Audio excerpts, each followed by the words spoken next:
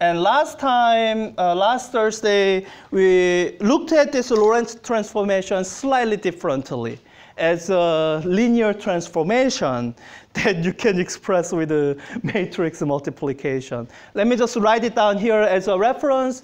Um, so we are not going to use that representation too much, mainly because you know we haven't yet listed Math 3 as the core architecture for this class. So I'm not allowed to do some you know linear algebra. But in case you do, um, in fact, this is how I have this formula memorized. I have it memorized as a, a square matrix, which represents an operation on a column vector or I guess it could be row, uh, or operational column vector. So the Lorentz transformation, the way you can represent it is you can represent it as an operation, a square matrix, four by four matrix, that's going to take this column vector of coordinates, time, position, well, time and position. And actually, let me introduce one more notation which I hope is uh, relatively intuitive. This column vector here, so I could write out all four components of it. One common way people abbreviate it is this way. So CT, the time component by itself, and this, I can represent it with uh, some kind of a position vector. Like if I use this notation, that's not that confusing. Yes, because I might use them more. Okay. Okay. Yeah. So this one letter actually represents three different numbers like any other vector quantities do, or any other three vector quantities do. So uh, you can look at Lorentz transformation as a transformation that takes this vector into this vector, and the transformation is written as this. Written as gamma minus gamma beta 0, 0 minus gamma beta gamma 0, 0, 0, 0, 1, 0, 0, 0, 0, 1. And I told you guys that this is how I actually remember this. it's kind of the only way to memorize it in a way you won't forget. Um, all right, so, um, so, and there's an analogy of this with the rotation. Uh, that's what we went over last Thursday. When we are dealing with, let me write it down as a reminder. So when you are dealing with rotation, in rotation, the, this is an invariant. Um, the, the vector, dot product with itself, this is, uh, which we sometimes call, uh, let me use R as the letter. X is actually going to get confusing. Let me go back and change this too. So People have seen R as representing position vector, yes? Okay, good. So R dotted to itself or R squared is equal to um, the X component squared plus Y component squared plus Z component squared. This is an uh, invariant. When you rotate your coordinate axis, the length of a vector or length squared doesn't change right? So with this analogy in mind, what we brought up last time is uh, what we call Lorentz invariant. And um, so we went through this last Thursday. The expression for Lorentz invariant is, well, so you can actually treat this, uh, well, let me put it this way. Um, so Lorentz invariant would be like, um, how do you call it? Um,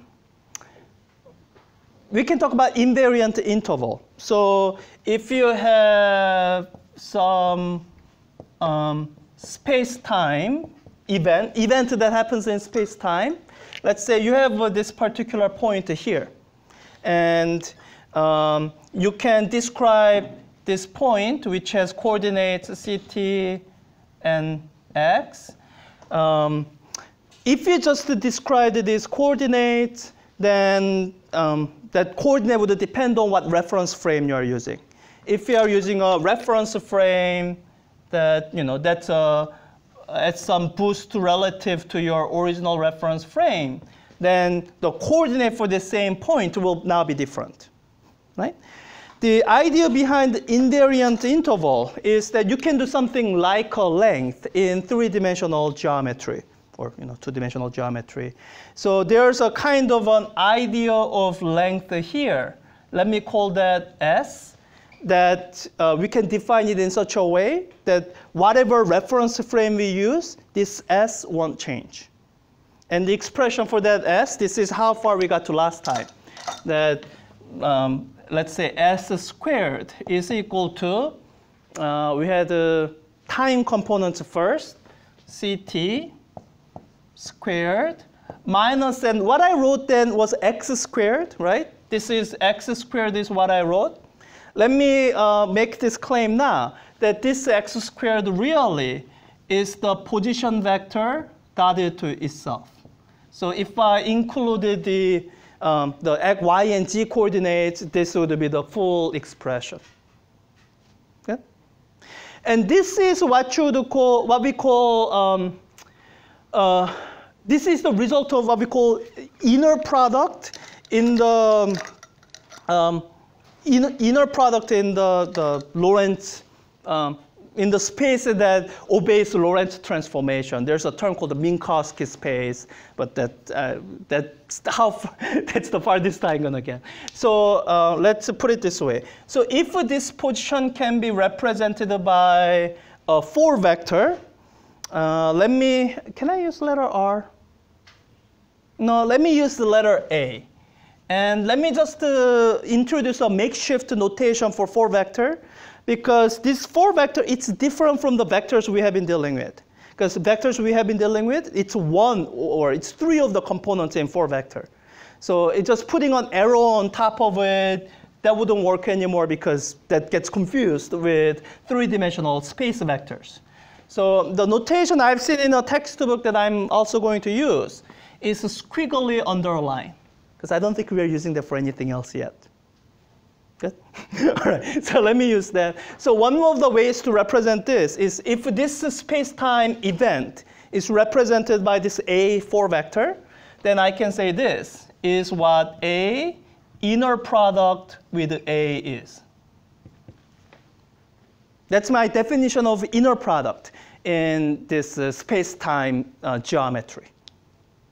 It's in some ways similar. You can see that this inner product is part of the definition here. But it's got this new part that uh, wasn't there before. And actually, um, while, that, while I have this up, let me go over one example that's not on the board that I, that I really should have mentioned a lot earlier is, do you see, uh, let me put it this way. Let's say I have space-time diagram, x, ct, and let me just draw the uh, light cone line as a reference. So this is a world line for, uh, so world line of light. And um, this is what I want you to imagine. I want you to imagine just picking any points at random in this space. You know, you could pick this point A, you could pick this point B, C, D, whatever. So uh, let's uh, keep ourselves within first quadrant, but you know, you can imagine picking many different points. And this is my question when you look at this entire quantity, what possibilities do you see for the so this gives you a scalar, right? Simple single number. What possibilities do you see for that single number with the reference number being zero? So with respect to zero, I don't know, are these always going to be greater than zero? Like this actually is always greater than zero, right? length, uh, the length of a three vector is always greater than zero, right? Yes?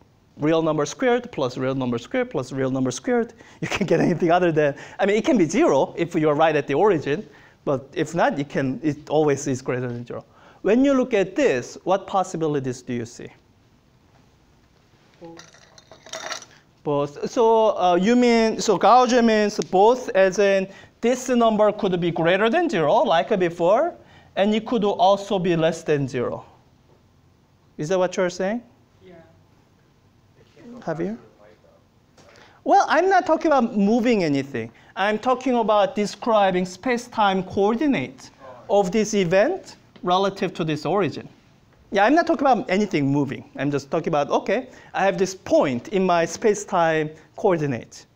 Like if I calculated whatever this um, s is, and calculate s squared, what would that be? Actually, let's imagine doing it for this. Will that give me uh, this quantity uh, less than zero or greater than zero?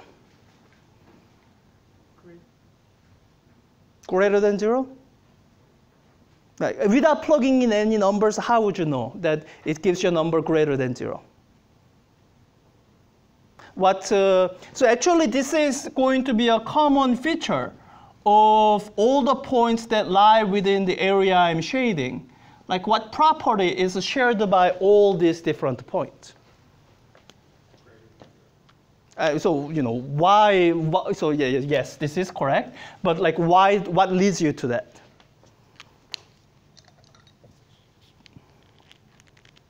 Like on this diagram, what do you see? For these points, that's different from these points. CT is greater than X.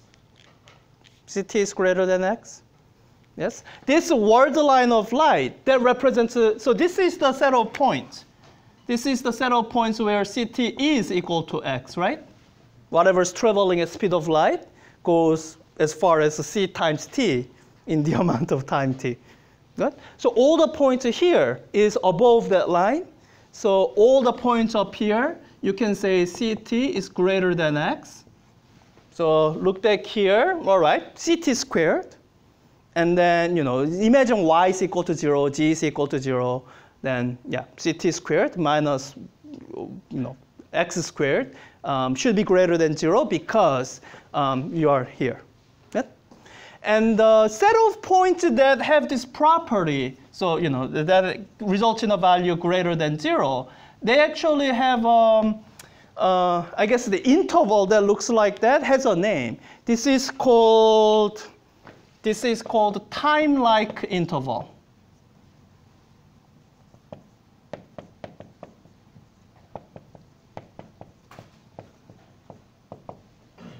Whatever that phrase means. Okay. So what are the set of points that have, um, you know, that results in uh, this uh, quantity less than zero? Like what set of points would you look at this and say, for those set of points, when you take the space-time inner product, you're going to get a number less than zero.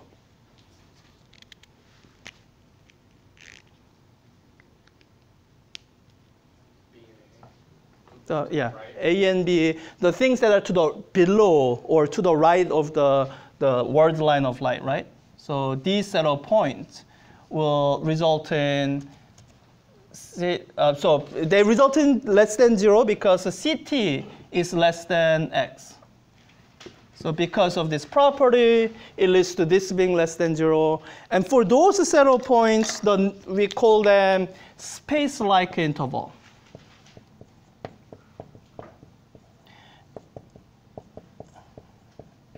And let me just leave with this simple statement. Uh, maybe it's simple, maybe it's not. Um, so when you have your space-time drawn up like this, you can divide it up, divide up your, so let's say you are observer here. Then you can divide up all the space that's uh, like, um, you know, that's around you and all the time that's uh, near where you are right now. Uh, you can divide up in terms of uh, what, uh, inter, uh, divide up by world line of light. So your textbook talks about light cone.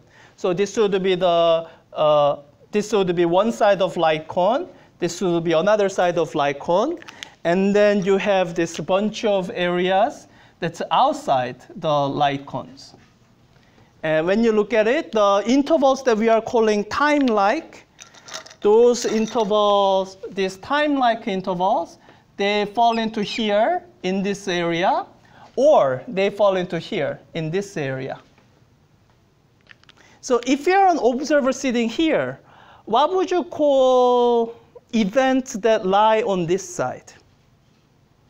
Or there's a name for it that you may or may not. Um, yeah, I guess maybe I should make a multiple choice.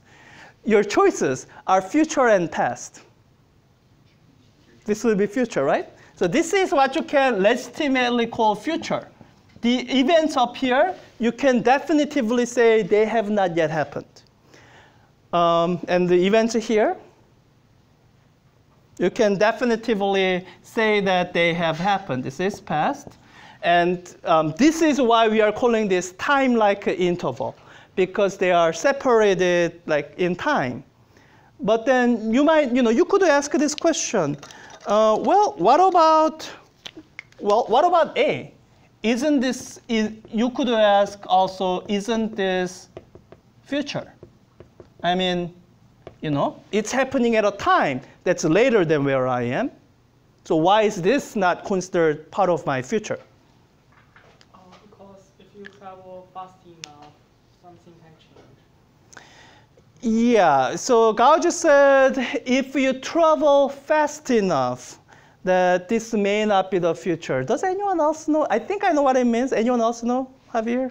Because in order to look at it, you would have to be, if light is your line, you would have to move it down. Okay, so You you, would see it in the past. so Javier is imagining this. Like if I want you to see this event happening, then, um, wait, no, no uh, or, let's see. Wait, nothing. Okay, I think maybe this is a better way to say it. If I want to affect what's going on here, so I'm trying to send a signal to that event, I need to have done it in the past, like something like this. That's what you're saying, right? Yeah, and part of that is this is separated in such a way. If you want to get to the point from here, it'll take, you need to be traveling faster than speed of light. So that's uh, something that will get you thinking, all right, so even though this is technically my future, this is not a point in space and time that I can ever actually get to. Because these are all the points that I can possibly get to if I travel as fast as light. And um, so this is the reason I'm putting up these notes, and I want to cover, you know, um, special relativity in a little more, uh, with more geometry than your textbook does. With more, your textbook actually has space-time diagrams. It's better than Giancoli that way. But I want to do it, uh, use space-time diagrams more because this is the understanding I want you to come up, come away with. For all the points here, you can find the reference frame in such a way that these two events happen simultaneously. Imagine an observer who's moving fast enough that you can say this is his or her world line. That imagine someone who's moving fast enough for you to do that. So let's say something like this. This is the world line for this uh, hypothetical observer you are thinking of.